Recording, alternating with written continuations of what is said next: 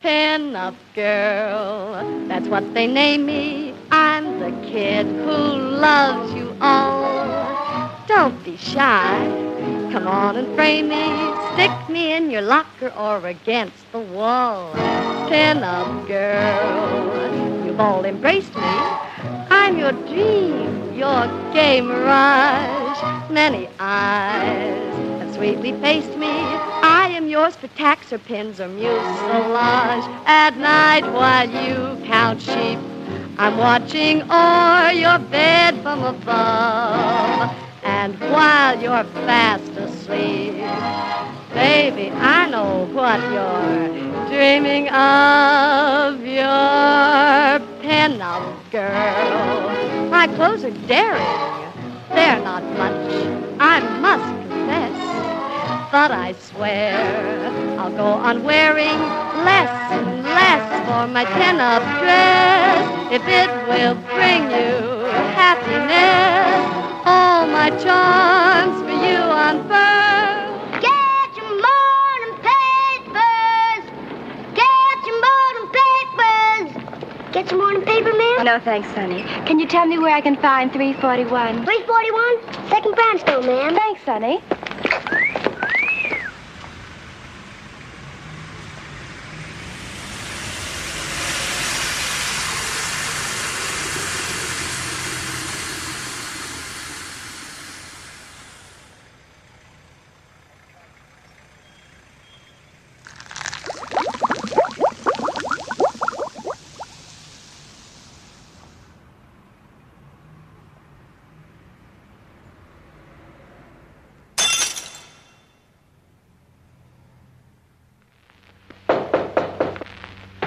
Come in.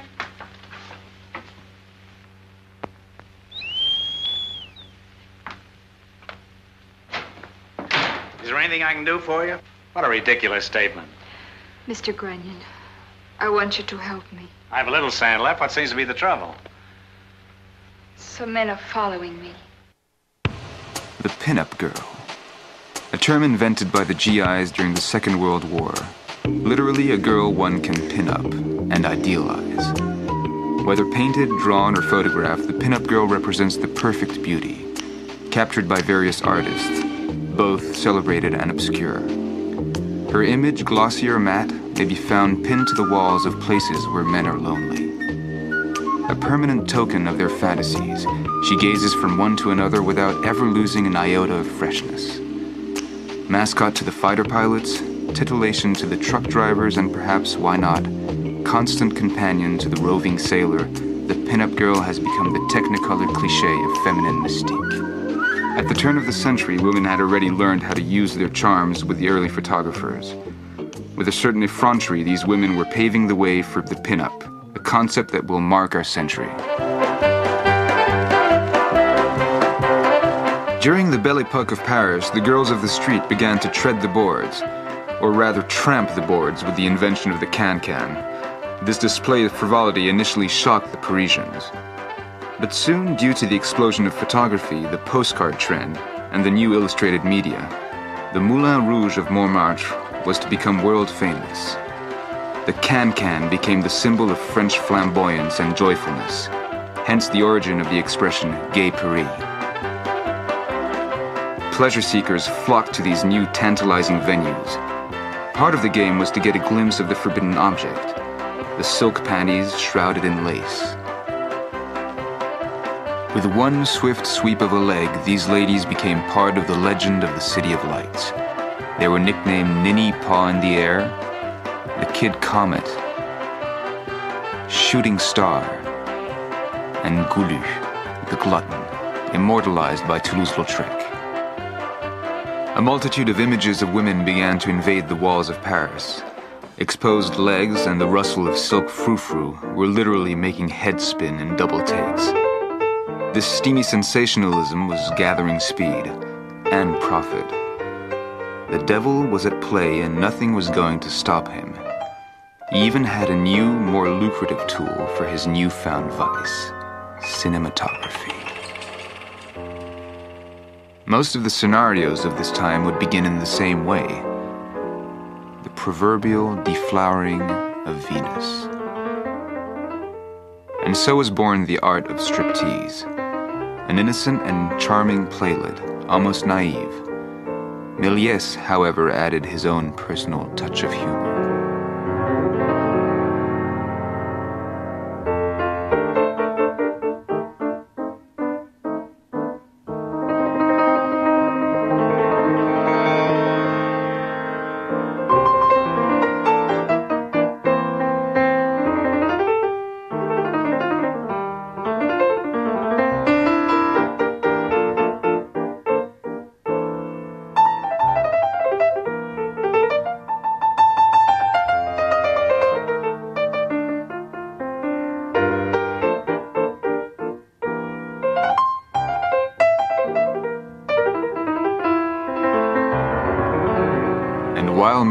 Was creating impossible dreams, the railway companies were offering something slightly more prosaic a voyage of discovery hitherto unseen. Posters depicting scenes of becoming young girls in bathing suits, promoting holidays at the seaside, and also launching a new fashion the bathing beauty. It should be noted that prior to the Belle Epoque, the height of eroticism was a glimpse of a woman's ankles as she mounted a staircase. On the beaches, even the most respectable of women were dropping their robes and corsets. The shock element was severe.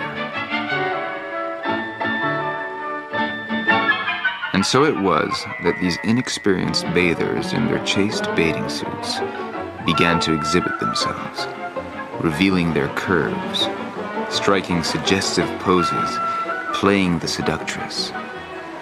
Little did they know that they were the direct ancestors of the pinup. Eroticism swept the coastline, and the bathing beauty became the favorite subject for postcards at the turn of the century. More than a hundred million suggestive postcards were printed around 1910.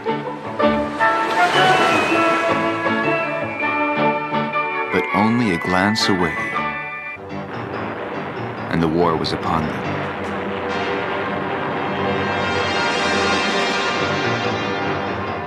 Nobody felt it coming. It all felt like a hellish mirage at the end of a ruthlessly hot summer in 1914. The young recruits left home in good spirits, carrying with them a photo of their sweetheart or a postcard of an image held dear. For most, this was the beginning of a long separation.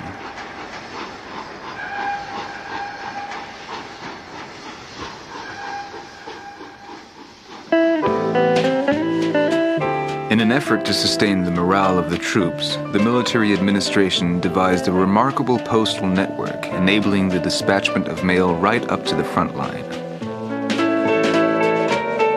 Even during combat, the cards would keep flowing in, and the walls of the shelters were covered with collages of women.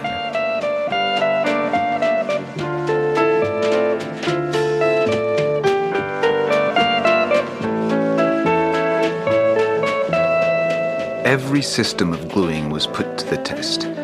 Even the fresh orange marmalade brought over by the English recruits was used to this sacred endeavor.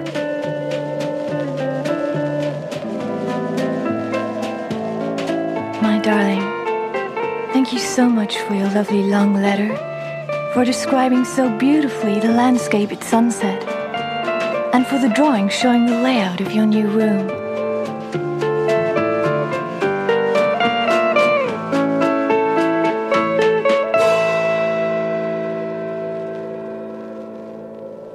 As the war continued with no end in sight, laughter also became a vital element of survival. The use of bromide was not enough to calm the soldiers' shattered nerves, and the soldiers were obliged to find other ways of remembering the good times.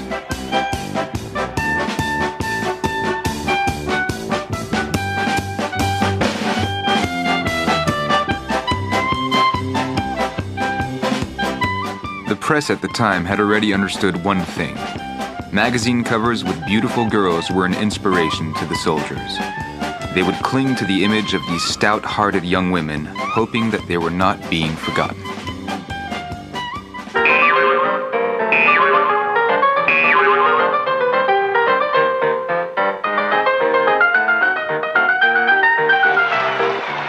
On April 6, 1917, America entered the war joining forces. Soon the troops under General Pershing were to discover the exotic charm of the girls made in France. And to honor their American heroes, the young French girls donned and flaunted the colors of the American flag. They were captured posing suggestively, their legs astride cannons and flying ammunition. At last, the end was in sight. France would be able to count her dead and attempt to forget.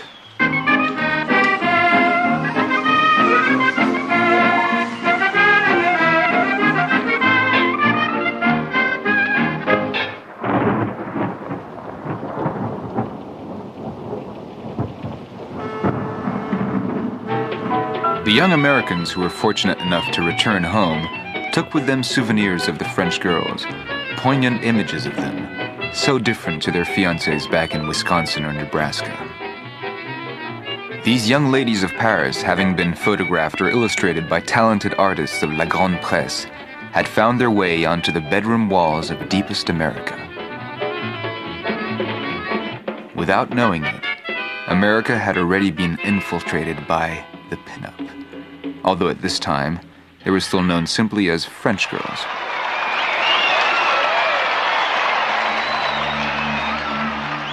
New York had become the home of an active entertainment industry. Inspired by the exoticism of the French girls, the new pinup, made in USA, first appeared on Broadway in the 20s. At night, the city glowed in neon. The New Yorkers made their way to the music hall, where a new craze was spreading, a new dance called the Charleston. I've been away from you a long time. I never thought I'd miss you so. Somehow I feel your love was real. Near you, I long to be. The birds are singing, it is song time. The banjo strumming soft and loud.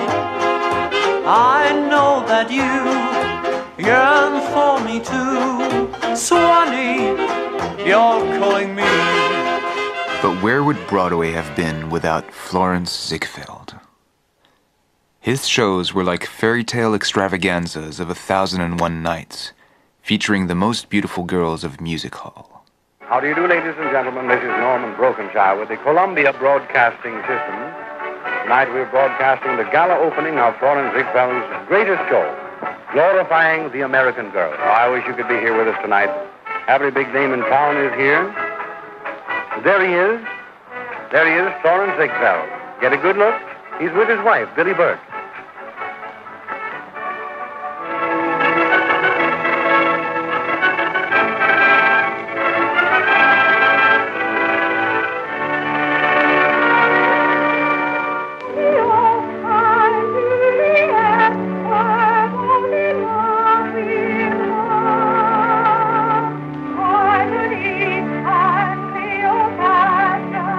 Style resembled that of the Folies Bergère in Paris, a feast of feathers and sequins glittering under the footlights. But the shows of Broadway remained distinguishable from any other, surely by virtue of size. Ziegfeld was paying tribute to the narcissism of his European compatriots. Only his extravaganzas were to be bigger, more excessive, and infinitely more lavish.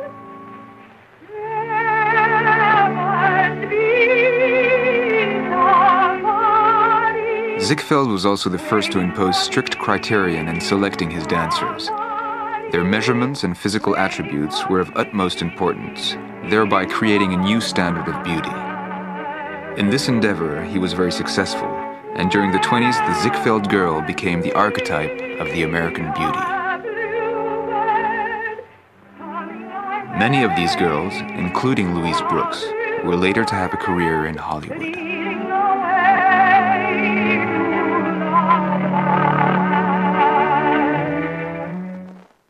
On the first call for girls for the new Follies, nearly 10,000 girls from all parts of America applied for positions.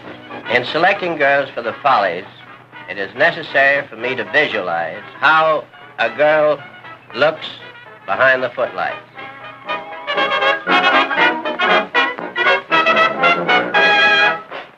I do not care whether the hair is long or short, blonde or brunette, as long as it frames the face becomingly. The eyes should be large and expressive. Back and shoulders, of course, should be beautiful. The legs must be shapely. And last but not least, the proportions of the figure must be perfect.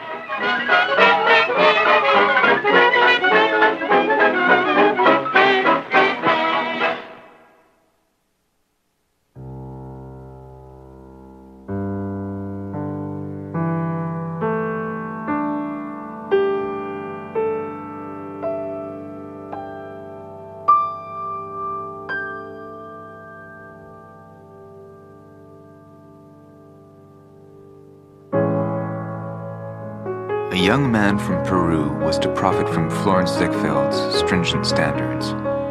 Having just returned from Europe, Alberto Vargas was only 20 years old when he met the king of nightlife on Broadway. Fascinated by this young talent, Ziegfeld gave Vargas the job of designing the programs and posters for his shows. This was the beginning of the career of one of the most celebrated artists of pinup.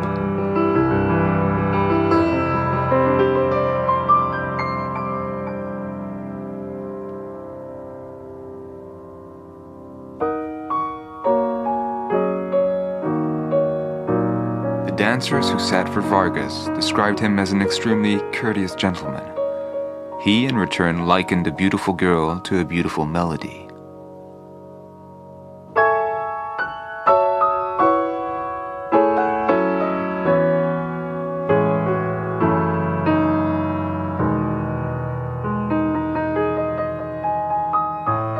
Through his creativity, Vargas wished to immortalize the ideal woman. His dream was to create a girl who was so perfectly beautiful that even unsigned, wherever it was seen, people would immediately recognize it and say, It's a Vargas girl.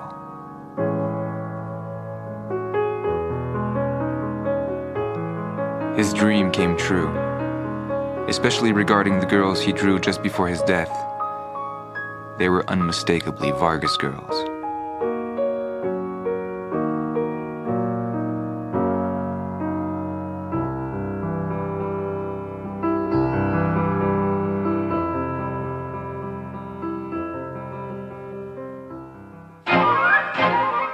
Far from New York, on the west coast of the United States, Mack Sennett was about to launch a new fashion in cinema that of the bathing beauty, a theme that was sure to be a success.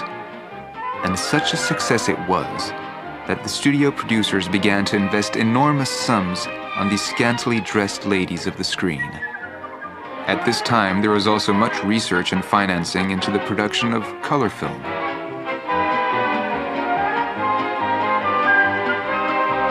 Thousands of young girls from all corners of America were flocking to Hollywood. Hollywood. Between the desert and the suburbs of Los Angeles. This was becoming the new town of make believe. New Babylon for some, new Byzance for others.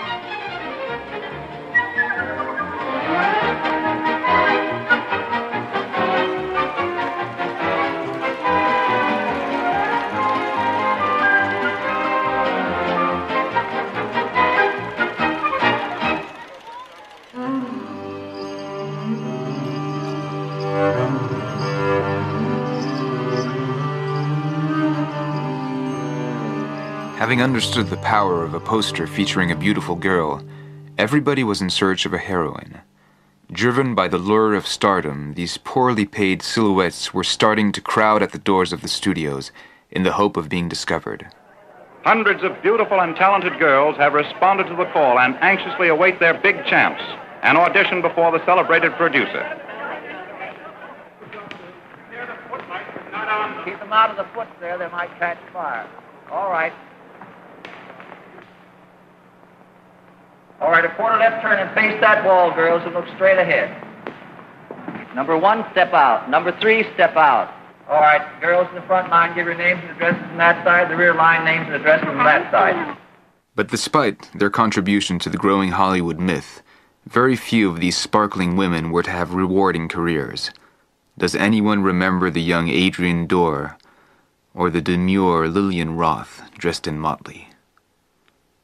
Hollywood was to immortalize only a selected few of these early starlets Jean Harlow, the platinum blonde, Marlene Dietrich, the blue angel, Joan Crawford, the tigress.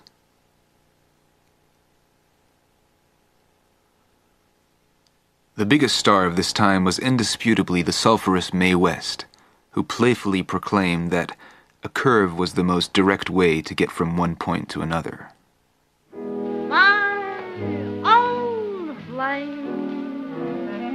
I can't even think of his name. But it's funny now and then how my thoughts go drifting back again to my old flame. When the Depression began, Hollywood seemed to remain unaffected. The press continued to sensationalize the various escapades of the stars, this creating a sharp contrast to the growing poverty.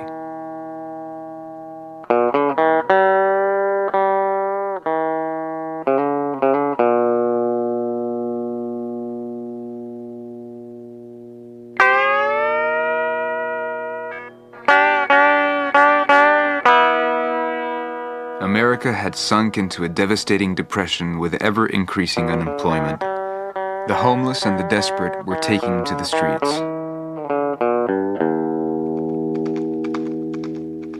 The worse things became for the masses, the better they became for Hollywood. After alcohol and crime, pin-ups were soon to become the next target of the Puritans. Various leagues of virtue were sounding the alarm. I George Nye, the Quaker evangelist of Madison, Wisconsin. The great people of the United States of America are out exhibiting their menagerie. And now my slogan is uh, fire, fire, fire. I smell smoke. Get on the water wagon. Hitch the to the. Under the pressure of a censorship committee, and to calm the outrage of such puritanical old ladies, the major studios appointed the politician Willie Hays to dictate the rules of morality to which the filmmakers were to adhere. Hays insisted, for example, that the legendary garter of Betty Boop be removed from the film.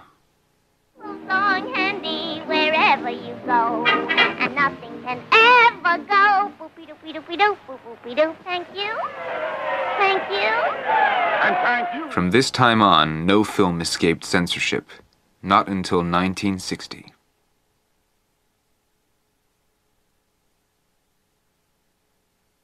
And yet, paradoxically, the pin-ups had never enjoyed a greater success, and more than that, they had become essential for the promotion of a film. How was Hollywood to cope with such a contradiction? With censorship as an adversary, Hollywood had to find loopholes within the confines.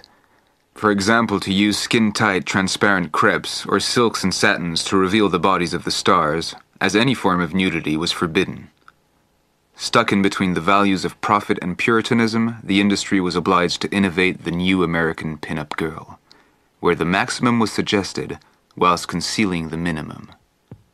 At this time, the woman who epitomized sex appeal was undoubtedly Rita Hayworth.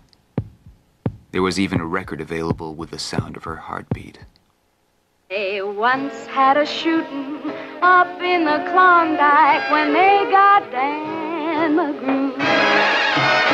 Folks were putting the blame on the lady known as Lou. Story that went around, but here's the real lowdown. Put the blame on Mame, boy. Put the blame on Mame. Mame did a dance called the Hitchy Coo. That's the thing that slew McGrew. Put the blame on Maine, boys. Put the blame on me.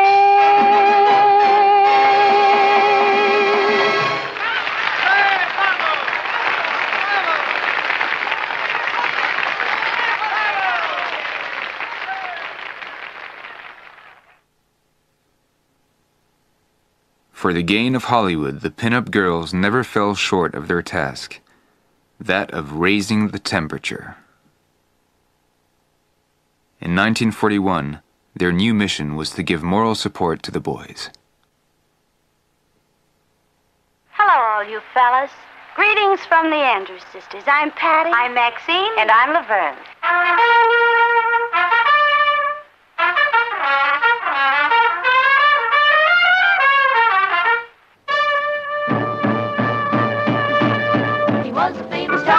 Out Chicago way.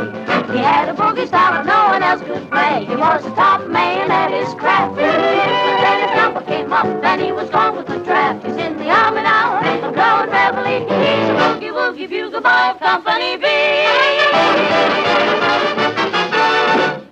And now, a touch of beauty is added to our program by Hollywood's lovely Marlene Dietrich, has graciously joined us here to pay her respects to the Fifth Army. Here she is, lovely Miss Dietrich. Hello, boy.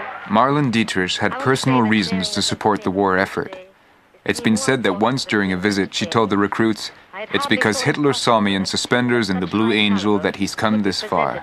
Now he wants to see what's under the lace panties. It's little wonder that she was hunted by the Third Reich.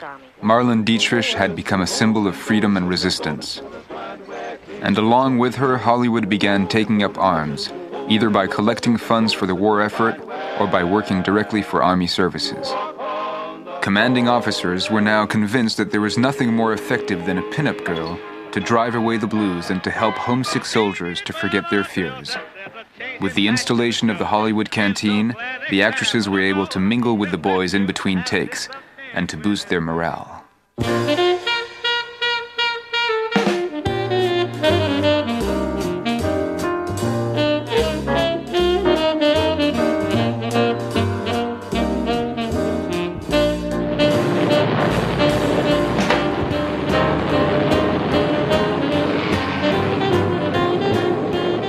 Celebrated artist Vargas offered to visit the air bases where he was to paint sexy girls onto the fighter planes as a tactic to relieve homesickness.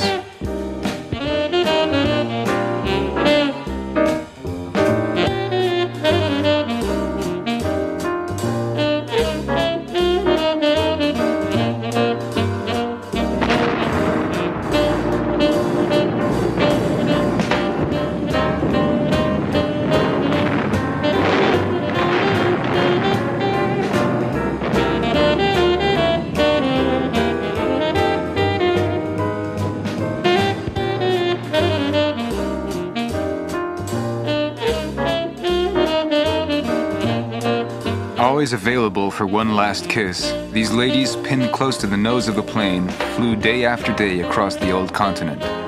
Vargas has started a school. Carefully painted by the first artisans of nose art, these flying pinups became the endeared mascots of the U.S. Air Force.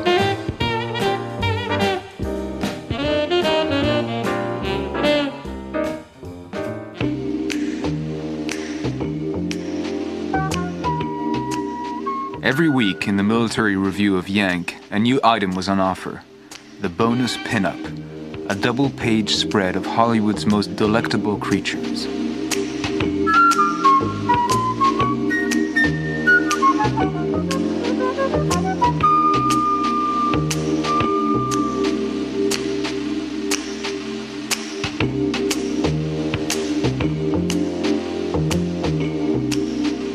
Esquire magazine was distributed right up to the front line.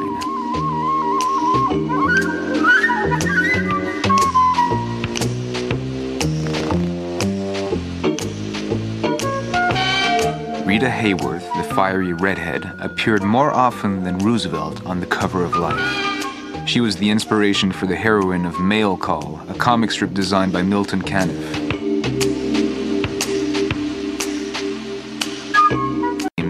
The soldiers' barracks. In a detailed lesson on the art of pinup, the Army hired Carole Landis to give the GIs some handy advice. Hello. I suppose some of you are wondering what I'm doing here. Well, you see, uh, some of you fellows have written to me and requested a real good pinup picture of me in nothing but a bathing suit. So, here I am. Oh, I, I have a lot of other bathing suits at home, but the photographer told me you would like this one the best. Because I'm a pin-up girl. That's what they name me. I'm the kid who loves you all. Don't be shy. Come on and frame me. Stick me in your locker or against the wall. Pin-up girl. You've all embraced me. Your dream, your gay mirage. Many eyes have sweetly faced me. I am yours for tacks or pins or mucilage. At night while you count sheep, I'm watching o'er your bed from above. And while you're fast asleep, baby, I know what you're dreaming of. Your pinup girl. My clothes are daring. They're not much, I must confess. But I swear I'll go on wearing less and less for my pinup dress. If it will bring you happiness, all my charms for you unfurl.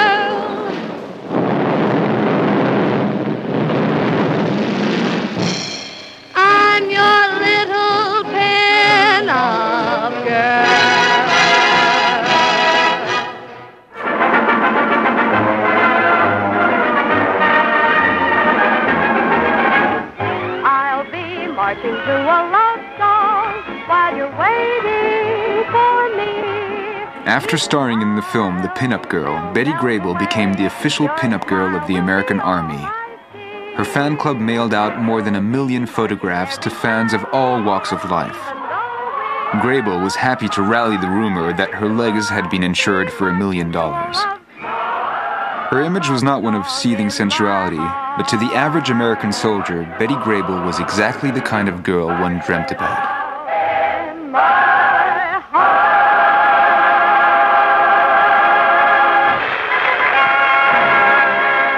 The pinup was recognized as a viable military utility. Bob Hope's famous USO shows always brought what the boys wanted. Patty, we're going to do a little, a little scene for you now, ladies and gentlemen. You might enjoy it. It's a little scene that's set in Central Park. Shows a boy and a girl walking through the park. I play the part of the boy.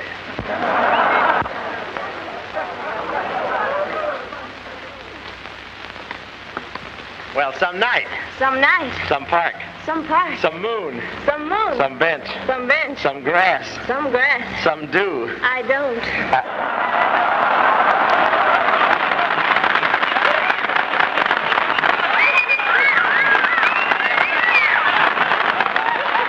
I just want you boys to see what you're fighting for, that's all.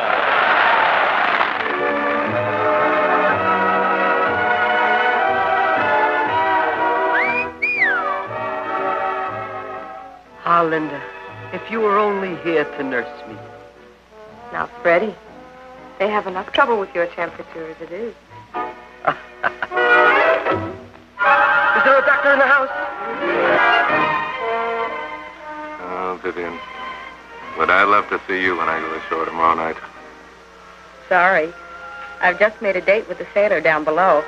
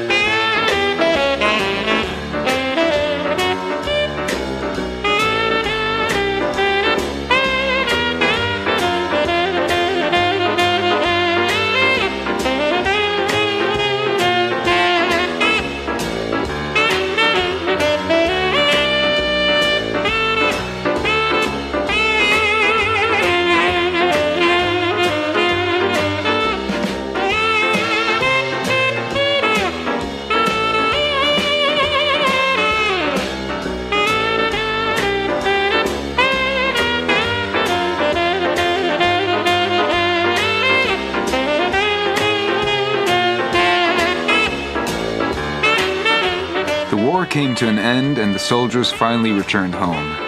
The pinups featured on the postcards began to take on the homespun image of the girl next door.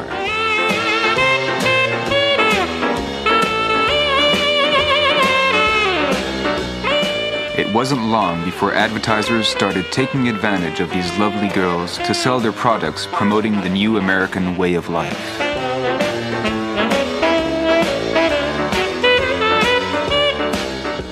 Illustrated calendar became a household item, depicting seasonal deflowering bordering on striptease. Part of the beauty of the image was due to the talent of the creator. People such as Earl Moran, MacPherson, Zoe Mozert, but it should also be noted that these girls had to pose graciously for hours on end and risk the possibility of catching a cold at any moment. On top of this and having to keep a perfect figure, they never forgot to smile. It was during these years that the most remarkable works were created. The watercolors of George Petty are capable of totally hypnotizing the masculine eye the nakedness of the models supposedly hidden by an impalpable veil-like garment. The success was phenomenal.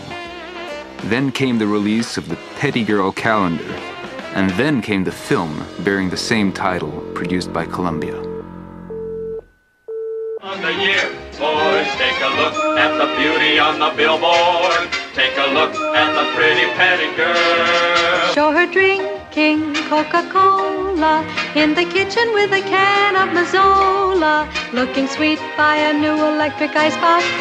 All at once it becomes a pretty nice box. Which twin has the Toni is not just the underneath those curls. Lend an ear, boys over here. Boys meet the pinups and the gals of the year. Boys in the flesh, they're the ladies who are known as the petty girls.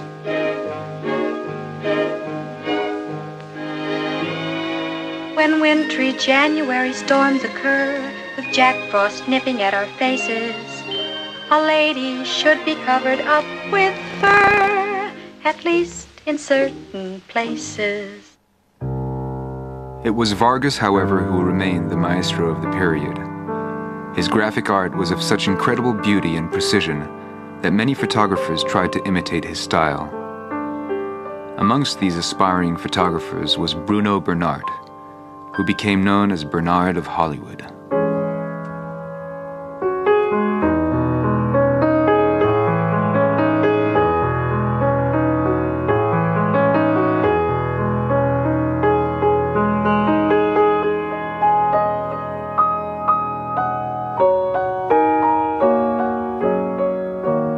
Bernard of Hollywood was not able to read into the future. But when a certain model by the name of Norma Jean came knocking at his door, he realized that this was not just another model.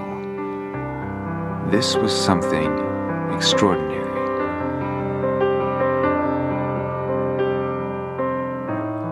It was Bernard of Hollywood who was largely responsible for the transformation and exposure of this lovely young pinup.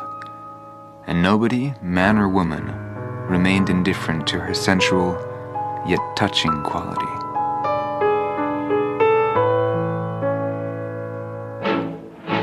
Bubbling with life and natural vivacity, she never lost her gorgeous smile. It was impossible to remain untouched by her unique grace and sincerity. Norma Jean Baker was at the debut of a legendary career. But part of becoming a legend involved some concessions a change of hairstyle to conform to the tradition of platinum blondes, and a change of name. She once admitted in a burst of laughter that she required six hours a day to transform Norma Jean into Marilyn. When the war in Korea broke out, the Army employed a well tested strategy that of pin-up on the front. Marilyn Monroe was to continue the tradition of her predecessors of World War II.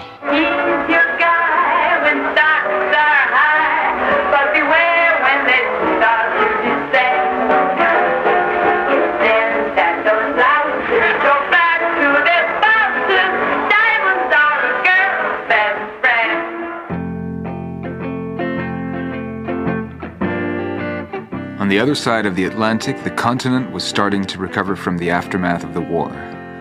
Amongst the signs of recovery was a new generation of vamps, such as Sophia Loren, with prospects of glamorous careers, European style.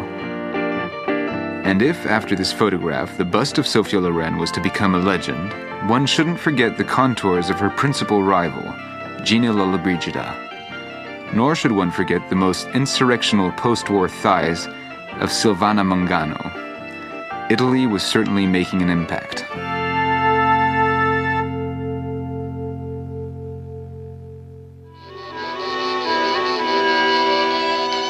But a few years later, a shockwave emerged from France. A young unknown, Brigitte Bardot, was about to jolt the Hollywood domination of pinups with the most celebrated pout in the world.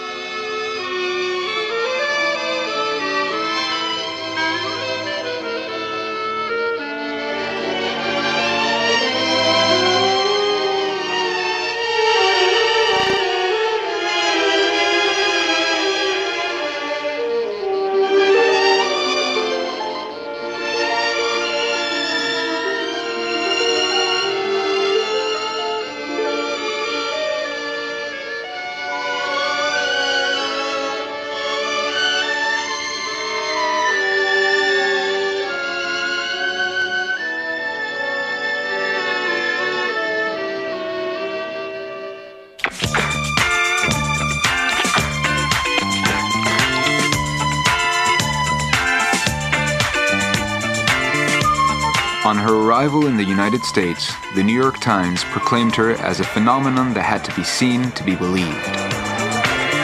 The press and the public were delighted by her exotic charm.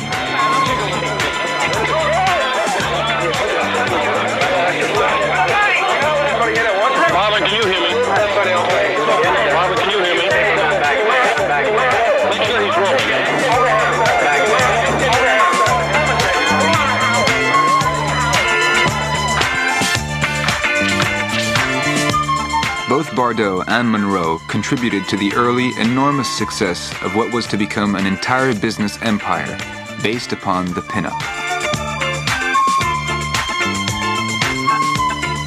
Intent on liberating the generation of powders by simply undressing them, Hugh Hefner became the guru of the free sex society. And he didn't stop there. By exporting his bunnies, he imposed a new worldwide standard. At the Playboy clubs, the little rabbits with their big ears and long legs provided a harmless fantasy for the lust ridden businessmen. Since the days of the first pinups at the turn of the century when ladies posed in chaste bathing suits, the image of the pinup has undergone radical transformations to suit the times. At the apogee of its myth, the pinup was crystallized in a series of images featuring the most brilliant stars of the screen. Here from Tokyo, where his picture Pepe premiered last night, but Mickey Rooney. In the case of Jayne Mansfield, she owed her success as much to her personal approach as to her alarming measurements. Faced with such a forceful image, one could either laugh or simply pass out.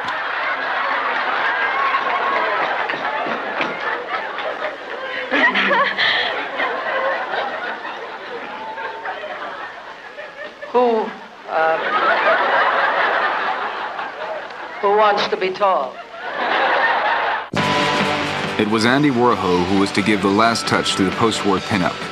In 1962, Marilyn Monroe's sudden and mysterious death propelled her to mythic heights of adulation.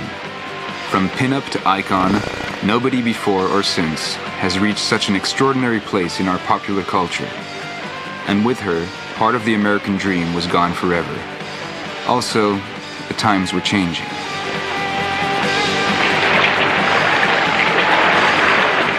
The Vietnam War threw a new generation into deep torment. Media coverage by television revealed the shocking images, and for the first time, American youth openly and loudly challenged the government, seriously fracturing the unity of American society.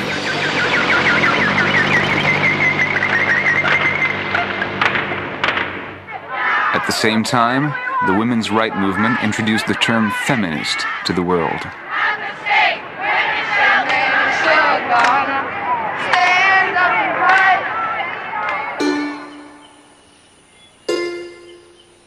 Jane Fonda, a beauty usually cast in lightweight romances, was quick to abandon her image of the sexy Barbarella in favor of a different crusade, and for the first time, the pinup became a strident voice screaming for change.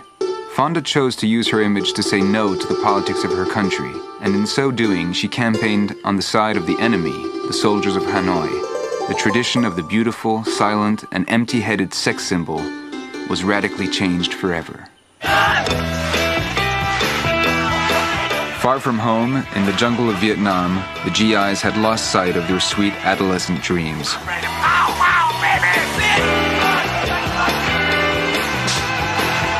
In the midst of this hell, the boys were drinking and taking drugs. The pinups of this bitter war were easy and accessible, ready to be had. Not the idealized and untouchable beauties of the past.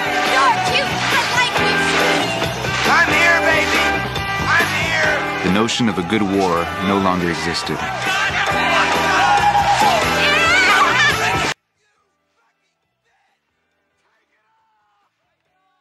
In this world, who could still dream of the pinup of days gone by, I sure do. of times gone by? Violence was the new state of the arts. Come on, baby.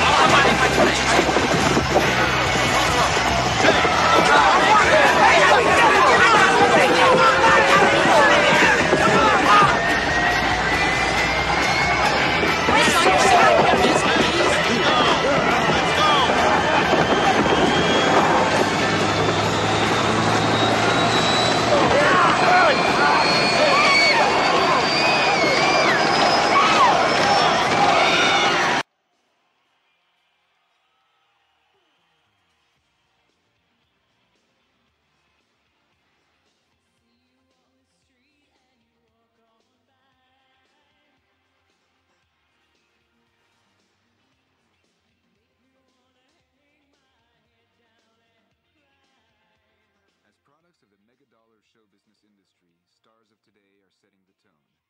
And the tone is commercial. The pinups have abandoned music hall for music videos and TV shows. Madonna, who describes herself as a sex machine, is the perfect incarnation of this mutation. It's no longer about glamour or allure. It's about calculated efficacy. The dream aspect has been forsaken. Packaging is the story, money is the product.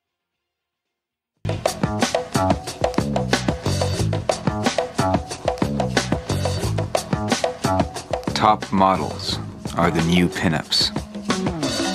African, Asian, European, or all American, these are the girls who are paid to create a fantasy.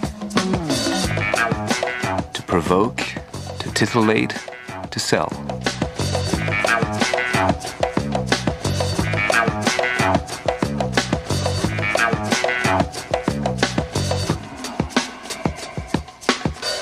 Look is more aggressive. These girls would probably be less disposed to take a trip to the front line to support a cause.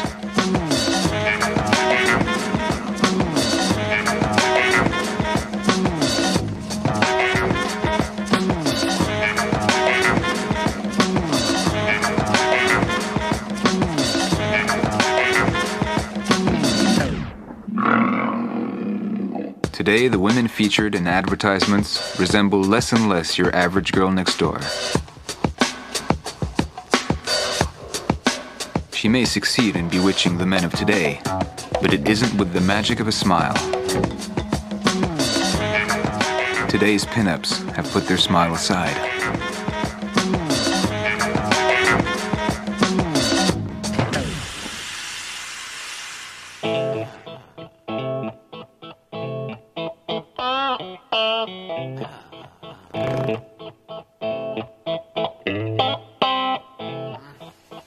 Contrast, the pinup of the golden age seemed more reassuring, more radiant, and more tangible. And they are all somewhere to be found on a distant shore of an ideal world.